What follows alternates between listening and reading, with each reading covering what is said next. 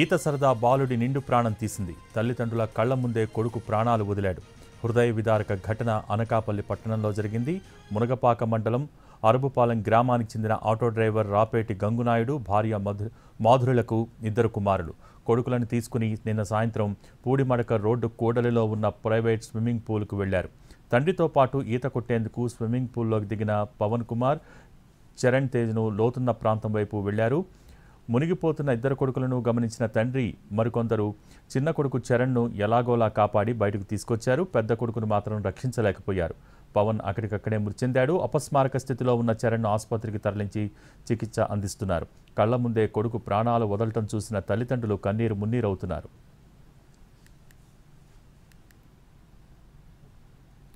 దీనికి సంబంధించి మరిన్ని వివరాలు మా ప్రతినిధి చిరంజీవి అందిస్తారు. ఈత సరదా అభం శుభం తెలియని చిన్నారులను ప్రాణాలు తీస్తుంది.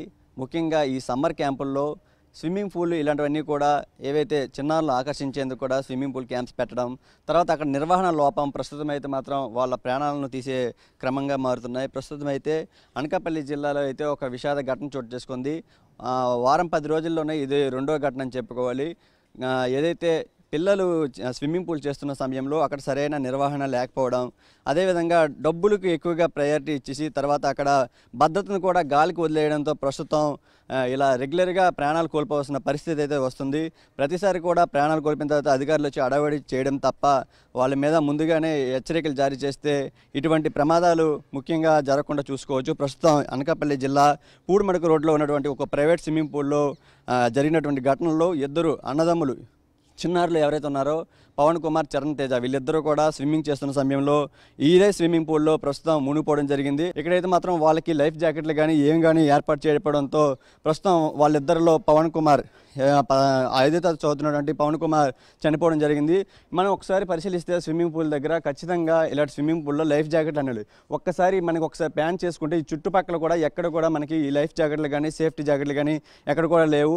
ఒకవేళ చిన్నారులు వాళ్ళు స్విమ్ చేయడానికి స్పెషల్గా రెండు అడుగులు ఉన్నటువంటి లోతున్నటువంటి ఇది ఉన్నది. కానీ ఇక్కడ నుంచి కొంతమంది పొరపాటున అక్కడికి అంటే నాలుగు అడుగులు పెద్దలు స్విమ్మింగ్ చేసేటువంటి ప్రదేశానికి వెళ్ళేటప్పుడు ఖచ్చితంగా వాళ్ళు మునిగిపోవడం ఈత రాకపోతే చాలా ఇబ్బంది పడాల్సి వస్తుంటుంది. అదే సమయంలో వాటర్ ఎక్కువ తాగడం వల్ల ప్రాణాలు కోల్పోవడం అస్వస్థకు గురవడం ఇలాంటివి జరుగుతూ ఉంటాయి.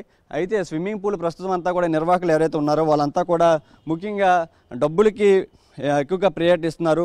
ఎంతమంది జాయిన్ అయినా సరే వాళ్ళని చేర్పించుకుంటారు తప్ప భద్రతా ప్రమాణాలు సేఫ్టీ మెజర్మెంట్స్ అంతా కూడా ఎవరు పాటించకపోవడంతో ప్రస్తుతం వీళ్ళంతా కూడా చేసుకుంటున్నారు. మొత్తం చూసుకోవచ్చు. ఒక్కసారి ఈ స్విమ్మింగ్ పూల్ లోతు ఒకసారి చూస్తే టూ ఫీట్స్ అని మనకు చెప్తుంది. అంటే మ్యాక్సిమం చెప్పుకోవచ్చు. ఒకసారి ఆ అబ్బాయి లెవెన్ ఇయర్స్ అని చెప్తున్నారు. కాబట్టి ఖచ్చితంగా నాలుగు అడుగులు ఉండే అవకాశం ఉంటుంది. ఇలాంటి వాటిలో స్విమ్ చేసిన ఏం ప్రాబ్లం ఉండదు. ఒకవేళ ఇది దాటి అటువైపు వెళ్తే దాటకూడదు. కానీ నిర్వాహకులు ఎవరైనా సరే అక్కడ లేకపోయినా వాళ్ళకి సేఫ్టీ జాకెట్స్ లేకపోయినా ఇటువైపు వెళ్ళి ఖచ్చితంగా వాళ్ళు మునిగిపోయి నీరు ఎక్కువగా తాగి చనిపోయే పరిస్థితి కూడా మనకి ఎక్కువగా లోనవుతుంది. ఖచ్చితంగా ఇలాంటి స్విమ్మింగ్ పూల్స్లు ఎవరైతే నిర్వహిస్తారో సమ్మర్ క్యాంప్స్ పెడతారో వాళ్ళందరి మీద ఖచ్చితంగా రిస్ట్రిక్షన్ పెట్టాలి. ఖచ్చితంగా ప్రమాణాలు పాటించాలి. ఇవన్నీ కూడా చెప్పాల్సినటువంటి అధికారులు కూడా వీటి మీద పూర్తి స్థాయిలో చర్యలు తీసుకోవాల్సిన అవసరం ఎంతైనా ఉంది. లేదంటే మాత్రం ఖచ్చితంగా మరింత అనార్థం జరిగే అవకాశం అయితే మనకు కనిపిస్తుంది. వీడియో జర్నలిస్ట్ శ్రీధర్తో చిరంజీవి ఎన్టీవీ అనకాపల్లి నుంచి.